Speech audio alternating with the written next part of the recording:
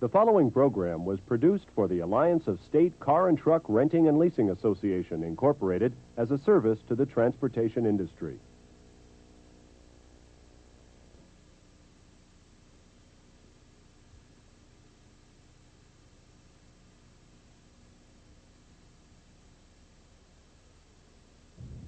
Hi, I'm Benny Parsons. In 24 years of racing stock cars and one NASCAR Winston Cup championship, I've learned plenty about the importance of having confidence in your driving on the highway as well as on the racetrack. By confidence, I mean knowing that you're prepared to handle any driving situation that might come along. But there is one situation that many drivers dread, one so buried in myth and rumor that even some of the most experienced drivers believe it can't be handled.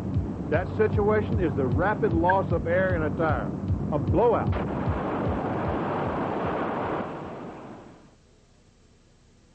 Here at the Nevada Automotive Test Center, hundreds of drivers have learned what they should do in the event of a blowout, just as I have in my many years of racing. One thing they've learned is that we shouldn't necessarily be using the word blowout, because even though a rapid air loss situation can be noisy, a tire can also go flat due to a long, slow leak. But perhaps the most important thing they've learned is that having a rapid air loss does not automatically mean losing control.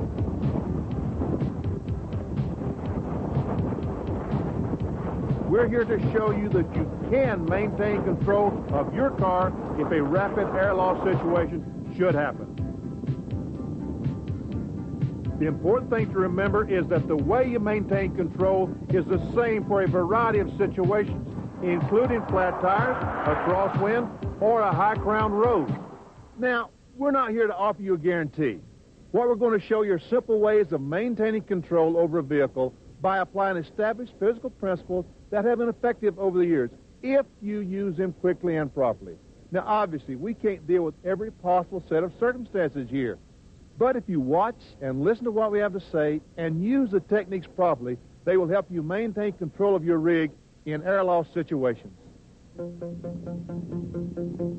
Keep in mind that the principles governing what happens after a tire goes flat are the same for every type of vehicle, from a front-wheel drive car to a rear-wheel drive sedan. To a 4x4 or light truck pulling a trailer, you handle each vehicle according to the same rules. First, let's take a look in slow motion at exactly what happens when a tire loses air quickly because that's all a blowout is really, a tire that goes flat in a hurry. When it does, the front corner of the vehicle will drop, creating a side force. This side force depends on such factors as tire road resistance and vehicle dynamics. Although the car will continue to roll along on the wheel and the deflated tire, the driver needs to compensate for this new side force. What do you do to maintain control? The answer is under your right foot. No, not the brake. In fact, panic braking is the worst possible thing you can do. Taking your foot off the accelerator is the second worst. The real solution is stepping on the accelerator. Getting power to the drive wheels means maintaining control. The accelerator is your best answer when there's some force pulling the car to the side. But wait a minute, you say. I don't want to go faster. I want to stop right now. I'm going for the brake and hard. When you do that, you may lose control. One of nature's basic laws says that an object going in one direction, such as a car on a highway, will keep moving in that direction unless it is acted on by a new force in a different direction. In our diagram, the size of the arrows represents the magnitude and direction of these forces. A rapid air loss creates a new side force. Unless the driver compensates for this side force, the vehicle will move in a new direction.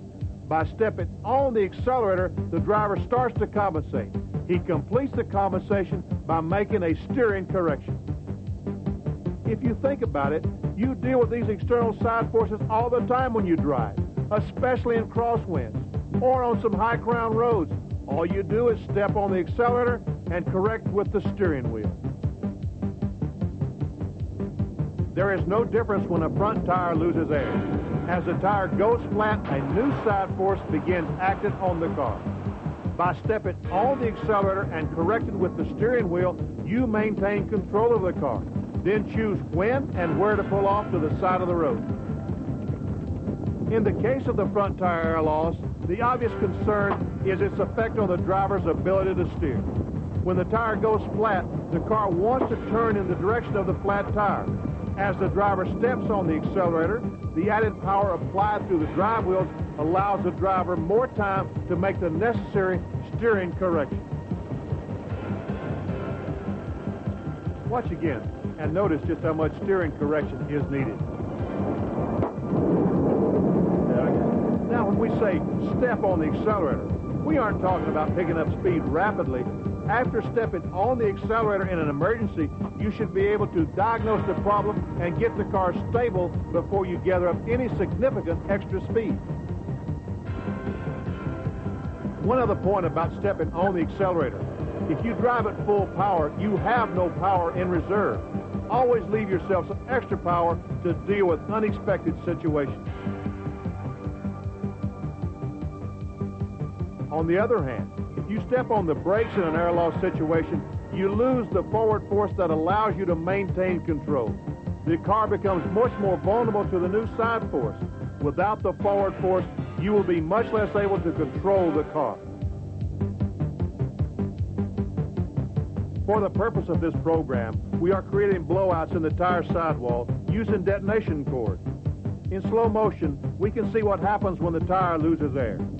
From the creation of the hole to the settling of the car on its wheel and deflated tire is actually just a fraction of a second. Until that settling occurs, the car will keep right on going as if nothing had ever happened. When the weight of the car comes down on the wheel and deflated tire is when the driver begins to feel the effects of the new side force through the steering or the ride. This is when the driver must take action by stepping on the accelerator and steering as necessary to maintain control. Now, let's compare front and rear tire air loss situations. The important thing to remember is that you handle both situations in the same way. The key differences lie in how they feel to the driver and what effect they have on the behavior of the vehicle. Controlling a rear tire air loss situation calls for the same driving technique as a front tire, with one important difference. When a rear tire loses air, the driver still has two good front tires for steering. But the rear tire air loss can be deceptive. When the tire goes flat, the car's bodywork is likely to shift in a direction opposite the flat. This shift gives the driver the impression that the car is changing direction, when in fact the front wheels are still pointed straight ahead.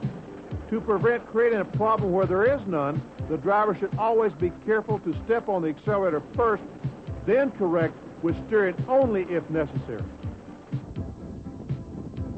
Getting power to the wheels means the rear wheels will follow where the front tires lead them. You maintain control of the car, then choose when and where to slow down and pull off to the side of the road. Again, stepping on the brakes is the worst thing the driver can do.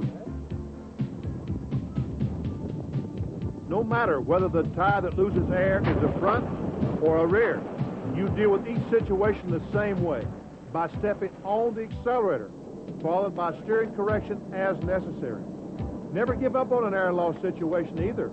Even if it has caught you by surprise, you can still keep the situation under control.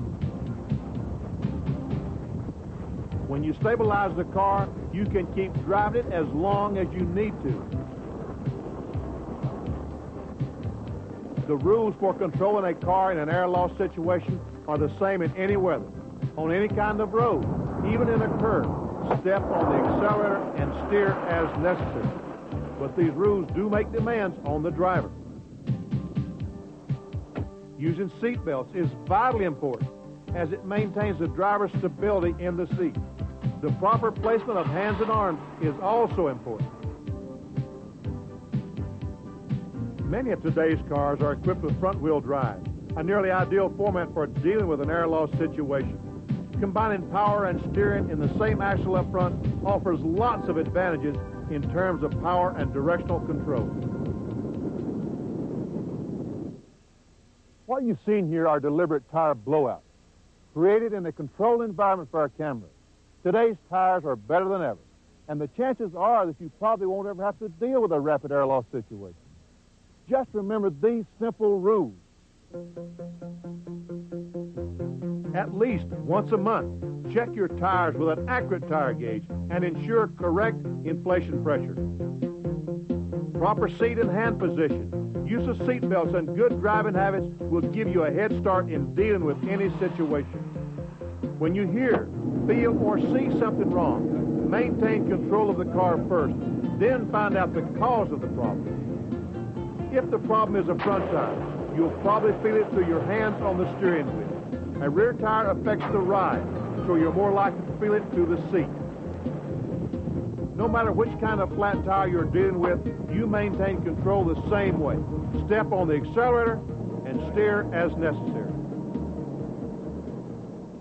As we said at the beginning of this program, tire blowouts have been the subject of myth and rumor for too long. You, the driver, are the critical factor. In your accelerator and your steering, you have the tools to handle a blowout. 14 years of testing here in Nevada tell us so. The drivers you just watched have learned to follow these simple rules. You can handle an air loss situation just like they did. Thanks for watching and drive carefully.